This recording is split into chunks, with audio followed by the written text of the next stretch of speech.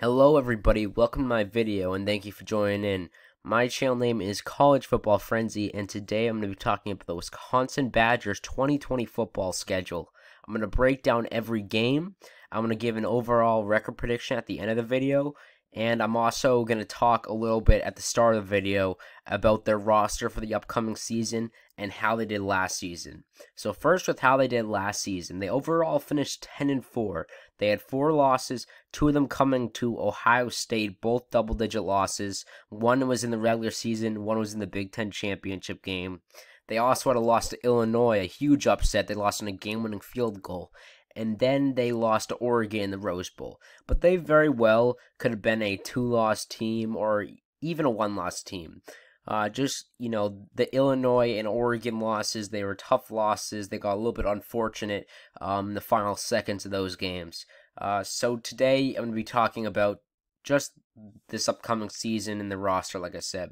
The roster overall, uh, you look at it, I feel like it's not going to be as good as it was this past season. Their defense should be fine. It should be a top five defense in the nation like it was last year, but their offense is what concerns me. Jack Coan's going to be the starting QB. He's a little bit experienced now, but I don't think he's that great. And then they're losing Jonathan Taylor, their best player last year. He was one of the best running backs, if not the best running back in all of college football. So losing him is going to hurt. So roster wise, I think Wisconsin might be a little bit worse next season. Schedule wise, looking at this schedule compared to last year's schedule, it's kind of clear that this one's a little bit harder. You know, Notre Dame, that looks like it might be a hard game. App State, you know, App State went 12, went 13 1 last year, and then of course you have to play teams like Michigan. But I'm going to break down every game starting with one now. Uh, Indiana, that's the first week of the season. Indiana gave Penn State a little bit of trouble last season. They they gave some good teams some trouble. So you know, Indiana could be a threat. I don't think they'll be able to beat Wisconsin in Wisconsin. Uh, so I have the Badgers here, but you know they could definitely put up some competition. Southern Illinois, easy game. Wisconsin wins that. App State, this could be a tough one for Wisconsin. Like I said, App State went 13 1 last year. They were a Sun Belt team, but still, they went 13 1, and we all remember that upset against Michigan.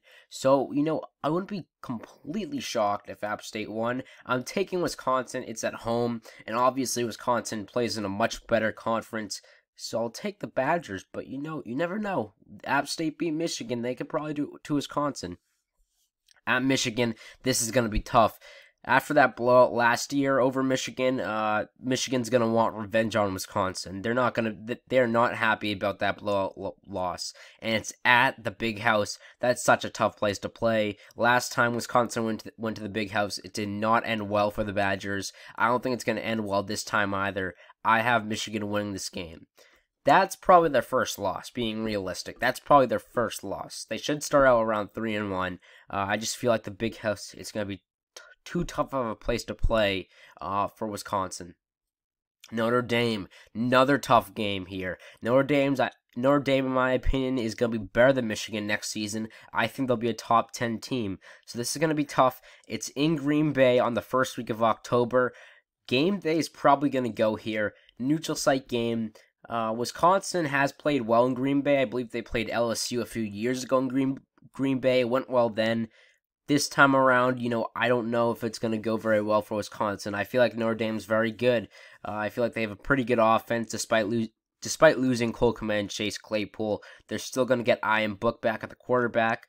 Uh, so I have high hopes for Notre Dame, and I think they might win this game against Wisconsin at the neutral site. Their fans travel pretty well anyway, uh, so it should be inter- interesting to see how it goes.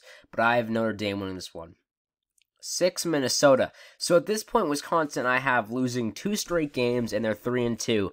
This will be a big game. Obviously, Wisconsin blew out Minnesota to win the Big Ten West title last season. Minnesota only had one loss coming in that game, and Wisconsin blew them out on the road. This time around, I think it'll be more challenging. I think Minnesota will play better. They're pretty much getting everybody else back. Uh, you know, they might be losing a couple guys, but most guys are coming back. Uh, and Wisconsin obviously is losing Jonathan Taylor. So I think it's going to be closer. But at the end of the day, it's in Wisconsin. I think it's a tough place to play, Camp Randall. I have Wisconsin winning, but I think it's going to be close. They start out four and two overall. That's what I have them at. Bye week, perfect time to have the bye week. Uh, you know, in the middle of the season. Eight at Maryland. That'll be an easy one. No challenge there. Nine Illinois. I'm sure Wisconsin will be wanting revenge. I think they win that game pretty easily. Uh, you know, it's a home game. I think they can get it done. At Northwestern, that should be an easy one for them. Northwestern just terrible season this past season compared to the year before. You know, they might bounce back, but I don't think they will that much. So I still have Wisconsin winning. At Purdue, this is going to be a tough one. This is going to be a tough one, I think. I think Purdue's going to be okay next season. I don't think they're going to be that bad. Uh, it's a tough place to play Purdue. I honestly have Purdue winning this one. I'm not even joking. I actually have Purdue winning this one. I think this is where Wisconsin gets upset. They might not be expecting it. This is a perfect uh, game where Wisconsin could get upset in. So I have Purdue actually winning this one. Nebraska, I think Wisconsin wins that one at home. It should be pretty easy. At Iowa, Iowa's losing a lot of their key players. You know, it's in Kinnick in November, late November. That's very tough to play at. Uh, so Wisconsin definitely will have trouble. But at the end, end of the day, I still feel like they can get it done. They could very well at this point still be in the Big Ten 10 West race. I actually think they will be in the Big Ten West race at this point, if you look at it, because the Big Ten West doesn't look that great, and I have all their losses besides Purdue coming out outside of the Big Ten West. So I have I have Wisconsin winning this one. Overall, they finished nine three, with only two Big Ten losses, one being to Purdue, one being to Michigan. That I think is actually going to be enough to get them to the Big Ten championship game. I honestly think there's a good chance of Ohio State and Wisconsin playing in a rematch in the Big Ten championship game this upcoming season. You know, they've played three times already in the Big Ten championship in the Big Ten championship era, and that era didn't start or didn't you know start until like 2011 i believe. Uh, so they've played a lot in the big ten championship game. I think it could happen again. Of course like i said one of those one of those losses comes out of conference in notre dame two in conference. I think the Minnesota one and the Iowa ones, those are going to be the big games, and that will give them the tiebreakers because I think Minnesota either loses to Michigan or some other team. So I think Minnesota has two Big Ten losses, and I think Iowa has three Big Ten losses. They have to play Penn State, Ohio State. Uh, so I think Wisconsin actually sneaks in the big sneaks into the Big Ten title game, even though they only go nine and three. Uh, so that's it for now, guys. Thank you for joining in. Please make sure to like and subscribe, and check out all my other videos.